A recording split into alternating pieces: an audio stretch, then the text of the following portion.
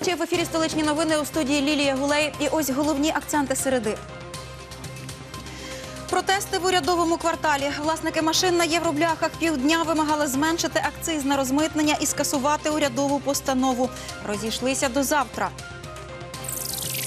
Півсотні людей захворіли ботулізмом лише від початку цього року. Які симптоми у небезпечного захворювання і чи є в Україні сироватка? Укрпошта не повинна зачиняти відділення у маленьких селах. Президент відреагував на заяви акціонерного товариства про потенційні скорочення поштової мережі. Понад 35 тисяч вступників до магістратури склали єдиний вступний іспит. Що нового було цьогоріч і чи справилися з тестами? Північно-Атлантичний альянс підтримав міжнародні санкції, уведені проти Росії. Також лідери НАТО закликали Федерацію вивести війська з України. Про це йдеться у декларації, ухваленій на саміті НАТО, який триває у Брюсселі. Лідери НАТО вкотре висловили підтримку територіальній цілісності та суверенітету України, а також Грузії і Молдови у межах їхніх міжнародно визнаних кордонів і закликали Росію вивести свої збройні сили з території цих трьох країн. Саміт альянсу суворо засудив нелегальну і протиправну анексію Криму, яка ніколи не буде визнана. Закликав припинити дискримінацію кримських татар та інших місцевих громад. Дещо стихло на передовій. Від сьомої ранку до шостої вечора відбулося лише два ворожих обстріли. З великокаліберних кулеметів окупанти відкривали вогонь на Світлодарському та Горлівському напрямках поблизу Світлодарська та Південного. І вночі так само зафіксували п'ять збройних провокацій. Втрат немає. Минулої доби, нагадаю, російські найманці здійснили два десятки обстрілів. Поранень зазнав мирний мешканець, повідомив речник Міноборони. Внаслідок чергового терористичного акту з боку російсько-окупаційних військ поранено цивільного громадянина, який знаходився на той час на подвір'ї свого будинку по вулиці Чайковського, 6. Окрім цього, вчора вночі після 2.30 зі станкового протитанкового гранатомету російські окупанти здійснили обстріл населеного пункту Золоте-4 з боку окупованого Золоте-5. Постраждалих внаслідок обстрілу, на щастя, серед цивільного населення немає. Власники нерозмитнених іномарок провели сьогодні у центрі Києва масштабну акцію. Від світанку водії заполонили середмістя, фактично паралізувавши автомобільний рух. Спершу протестували під Верховною Радою, потім перейшли під Кабмін, вимагаючи, аби до них вийшов прем'єр. Вимоги протестувальників – скасування урядової постанови, яка відкрила поліції доступ до митної бази «Інспектор-2006». Патрульні почали частіше зупиняти машини з єврономерами для перевірок, отримавши інформацію про те, коли авто увезли з-за кордону, з якою метою і на який період. Водії вважають це переслідуванням. І водночас вимагають зниження акцизу на розмитнення. Наполягають, аби парламент вніс законопроекти на розгляд. Близько трьох годин люди чекали, поки до них вийде прем'єр-міністр, а не дочекавшись, зібрали підписи і направили свого представника зі зверненням до адміністрації президента. Ми зібрали сьогодні для того, щоб домогтися до доступного розмитнення. Ми бачимо саботаж та відсутність е, будь-якої волі вирішити питання по доступному розмитненню кожному українцю. І замість цього ми бачимо якийсь е, протилеж, протилежний бік це каральні міри, які є антиконституційні. Пришел поддержать всех, всех, кто здесь присутствует. Ну, одна идея, одна цель.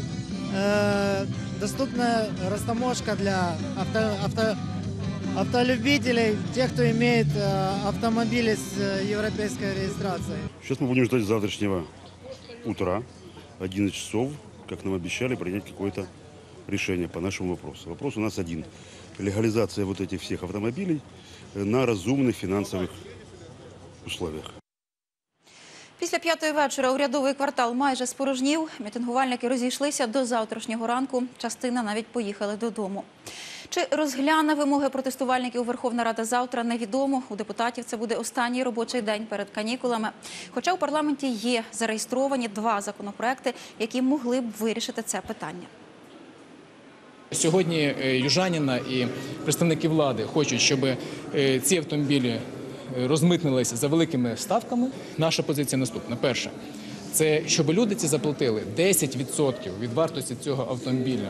І розмитнились і крапка, не сплачуючи таких податків, як ПДВ, Я е, наполягаю на тому, щоб ми провели певну лібералізацію, певну, а не знаєте, таку структурову, можна назвати взагалі відмінити е, всі митні е, платежі, це буде лібералізація. Я проти такої лібералізації.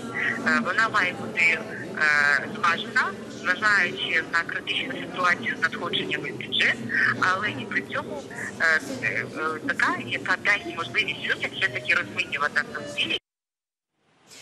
Президент закликав утриматися від скорочення відділень Укрпошти у селах і не припиняти послугу виплати пенсій через пошту. Так Петро Порошенко відреагував на заяву Укрпошти про плани закрити відділення у селах і пересадити листонож на автомобілі. Наразі в українських селах працює 9 тисяч відділень. Повідомив речник Укрпошти Михайло Василенко. У 80% з цих сіл проживає менше двох тисяч людей. Тож на сьогодні через малі обсяги бізнесу у середньому два листи на день та одна посилка на тиждень. Відділення зв'язку у селах часто працюють лише один-два дні на тиждень. Тож це недоцільно, міркують в Укрпошті. Президент закликав знайти інший вихід із ситуації, аби люди при цьому не постраждали. Це не може відбуватися за рахунок пониження соціальних стандартів людей. В першу чергу, ті, хто проживає на селі, не може відбуватися за рахунок пенсіонерів. Неприйнятно. І ми маємо опрацювати іншу модель. І до того, як інша модель буде опрацьована, подана на уряд і затверджена урядом, я наполегливо рекомендую вам утриматись від е, і скорочення мережі в селах, залишаючи людей сам на сам. Півсотні випадків захворювання на ботулізм зафіксували з початку року. Чотири з цих випадків завершилися летально. І це лише офіційна статистика, адже отруєння ботулотоксинами важко діагностувати. І на всю країну маємо лише 12 флаконів сироватки. Де її зберігають, хто може отримати і що для цього необхідно зробити, дізнавалася Наталка Білогурова. Токсин ботулізму – одна з найнебезпечніших речовин на планеті, стверджують експерти. Один грам здатен вбити більше мільйона людей. Сама бактерія бутулізму не страшна, її можна подолати антибіотиком. А ось токсин, який вона продукує, може нейтралізувати тільки специфічна сироватка. Діагностувати хворобу практично неможливо. Тільки по клінічним ознакам. Тобто по клінічним ознакам, тобто як людина там задихається, перестає дихати і там, ну і так далі, що тобто, і паралізує. Ну це ціла там система. Кожній інфекційній лікарні до 13-го року було кілька флаконів протиботулістичної сироватки антидоту. І вони мгновенно вводили і рятували життя.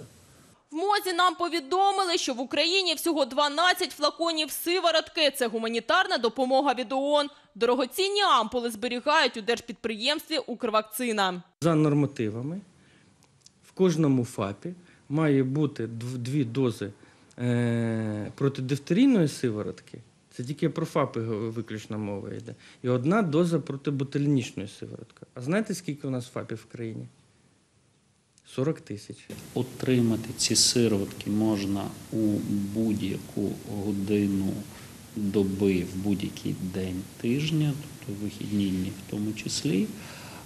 Місцева влада детально проінформована про е, то, в який спосіб отримати ці сироватки. Як отримати протиботулічну сироватку, достеменно нам так і не вдалося дізнатися. В МОЗ сказали, інструкції є у усіх органах місцевої влади, але її нам не вдалося побачити. А ось президент Всеукраїнської ради захисту прав пацієнтів Віктор Сердюк демонструє документ, де зазначено, чиновники обласного департаменту охорони здоров'я мають звернутися із запитом до Укрвакцини. А якщо це вихідний день, необхідно дочекатися першого робочого. Це просто цинічне знущання. Тобто, з одного боку, де юре воно є, аж 12 штук, це на 3-4 вип- на 3-4 випадки.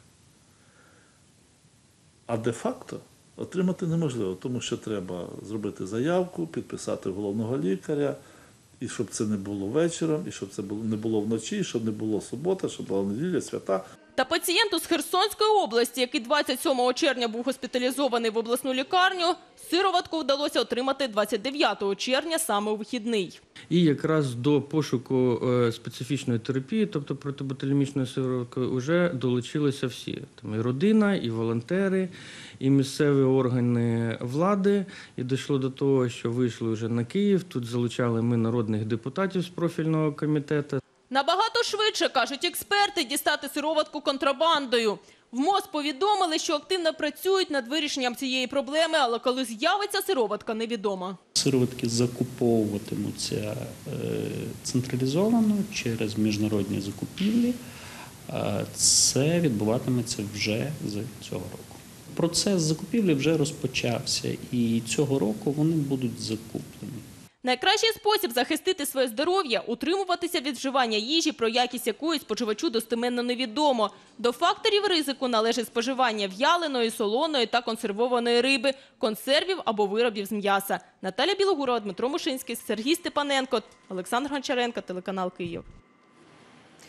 Кілька десятків рятувальників, карета швидкої та затори в обидва боки. У Шевченківському районі Києва горіла стара будівля колишнього дитсадка. Мілан Мода був на місці події. Близько шостої вечора, за версією свідків, загорілася двоповерхова будівля колишнього дитячого садка. Майже одразу на місце прибули шість пожежних автівок, а неподалік чергувала карета швидкої. Однак по медичну допомогу ніхто так і не звертався. Поки що ніхто не звертав. Нет. Туша, здание заброшенное. Місцеві мешканці підозрюють, найпевніше причиною загоряння був людський фактор. Кажуть, це місце облюбували безхатченки. Бомжи. Бомжи жили. Звідки ви знаєте? Ну, видели неоднократно. Ви там мешкали? Да, А як часто чи багато ну это не знаю. Так не скажу. Років сім, як вона це в такому стані. Тут бомжі постійно визивали цього поліцію. Ну, Пожежі тут відбувалися? да, з тієї сторони. Ну, в прошлому році. Пожежу локалізували за годину. Причини займання встановить слідство. Мілен Мода, Олександр Гончаренко, телеканал Київ. Понад 35 тисяч вступників до магістратури склали єдиний вступний іспит. Цьогоріч він дещо відрізнявся від попередніх. Зокрема, вперше увели тестування з іноземних мов для абітурієнтів певних спеціальностей. Як майбутні магістри складали ЗНО у столиці, Аліна Матвійчук розкаже. Спокійніше, розміряніше та впевненіше. Вже з добре знаним пакетом документів і за тією ж процедурою. ЗНО складають не вперше, тож морально в рази легше, кажуть абітурієнти. Порівнювати з ЗНО, які ми здавали після школи, але все одно, ну звісно, відчуваєш себе більш впевнено, тому що вже знаєш якби процедуру, знаєш уже з чим стикатися, і сподіваємось на перемогу над тестами. Были школьные знания, были университетские знания, и все, что оставалось, только их как бы вспомнить, потому что там, возможно, в университете их не так использовалось в последнее время. Все это вспоминается, и все типа отлично. Цьогоріч зовнішнє незалежне оцінювання з іноземних мов для вступу у магістратуру запровадили в Україні вперше. Проводиться такий іспит з чотирьох мов: англійської, німецької, французької та іспанської на вибір. е, Того, хто поступає в магістратуру, дуже важливою е, частиною вищої освіти є знання іноземної мови. І люди, які йдуть відповідно на цей ступінь вищої освіти в магістратуру, повинні володіти іноземною мовою. Тест складається з двох частин – читання та використання мов і містить 42 завдання. На все про все у абітурієнтів година. При цьому, кажуть, у центрі оцінювання питання для майбутніх магістрів за складністю такі ж, як і для випускників шкіл. Тест не є рівневим. Він не орієнтується на рівні. Він орієнтується на програми зовнішньо незалежного оцінювання, які є для випускників школ. Наразі мова йде лише про вміння е, читати з розумінням е, тексти відповідною мовою, з якою проводиться тестування. Іспит для багатьох виявився напрочуд легким. Насправді легко готувався по спеціалізованій англійській мові, юридичній, а тут виключно така загальна англійська мова, тому насправді дуже легко було. Гораздо легче, чем было после школы. Там сокращенный тест. Ну, в принципе, не очень сложно. То есть справилась быстро. Надеюсь, что много правильных ответов. Я просто знаю хорошо английский язык. В принципе, не сложно. Ну, то есть просто common sense, э, здравый рассудок э, и все. Результати абітурієнти дізнаються впродовж двох тижнів. А от на тих, хто вступає до магістратури за спеціальності право та міжнародне право, 13 липня чекає єдиний фаховий вступний іспит. Перевірятимуть суто правничі знання. Аліна Матвійчук, Дмитро Кокотов, телеканал Київ. Епатажну переможницю Євробачення 2018 помітили у Києві. Нетта Барзілай знімалась у рекламі. І зйомки відбувались у різних куточках Києва від історичного центру до Борщагівки. Відео опублікував у мережі один із користувачів. Ізраїльську співачку бачили на пейзажній алеї біля Національного музею історії України і навіть у Бучі. Ну а вже сьогодні Нетта Барзілай вирушила зі столиці України додому. І на цьому все. Спасибі за увагу. Мирної ночі і до зустрічі.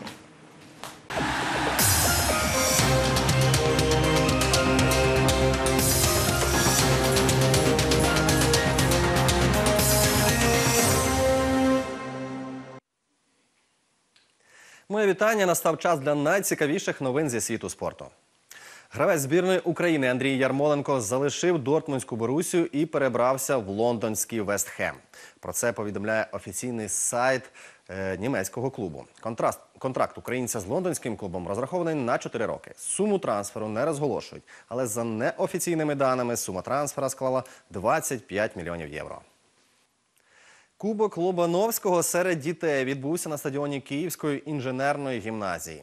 У третьому за ліком турнірі пам'яті видатного тренера зіграли 12 команд. Більшість клубів представляли столицю та область. Утім, на турнірі брали участь також дві команди з Донецької області. За формулою змагань спочатку команди були поділені на дві групи по шість команд. З кожної групи до півфіналів виходило по дві найкращі.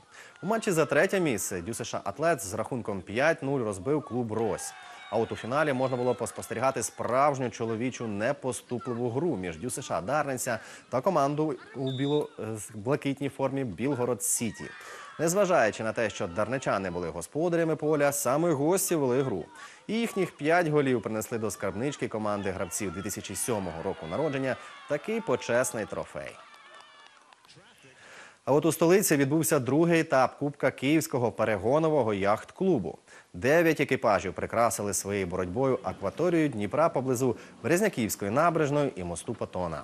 Західний вітер у поєднанні з сильною течією з півночі ускладнював боротьбу на дистанції. Її проклали не уздовж, а впоперек Дніпра. За таких обставин визначальним чинником успіху був вдалий старт. У прагненні піти на дистанцію першим у медал-рейсі три екіпажі перетнули завчасно стартову смугу і були дискваліфіковані.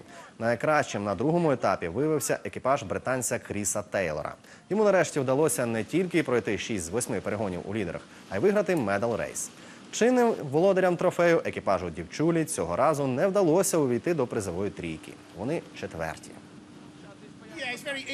Цього разу нам вдалося майже усе, що планували. Ще й погода посприяла. Типовий лондонський варіант. Плюс гарний вітер і байдуже звідки він дме. Ми швидко прогресуємо. Дякую екіпажу і тактикам. Наверное, вот такие вот провалы, они нужны, чтобы переоценить что-то и стать еще сильнее. Да, То, что не убивает нас, делает нас сильнее. Это вот, я надеюсь, наш случай, что мы а, таки покажем новые, новую технику, новые возможности в следующем этапе. І на цьому у мене все. Вболівайте за українців і будьте здорові!